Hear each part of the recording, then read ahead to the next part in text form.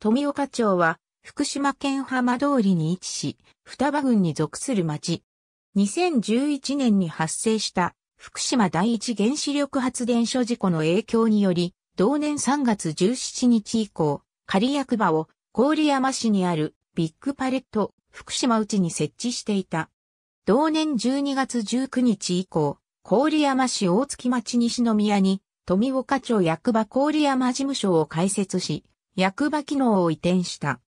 2017年4月1日より北東部の帰還困難区域を除いて、避難指示区域から解除され、それに先駆けて、同年3月6日より、本庁舎にて、町役場の業務の一部を再開した。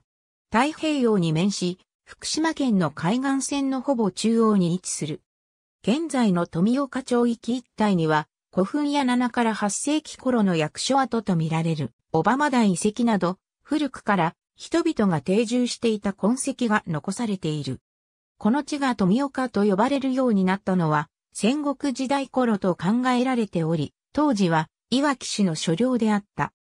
江戸時代には、富岡は当初岩木平藩領に属したが、延享4年に井上氏が藩主になると、富岡を含む奈良派軍は、平藩領から外されて幕僚に編入され、小名浜大官所の支配地となった。この後、富岡一帯は、仙台藩預かり地を経て、幕僚、棚倉藩領、タコ藩領に三分割されて明治に至った。町長、宮本光一平成25年月日就任。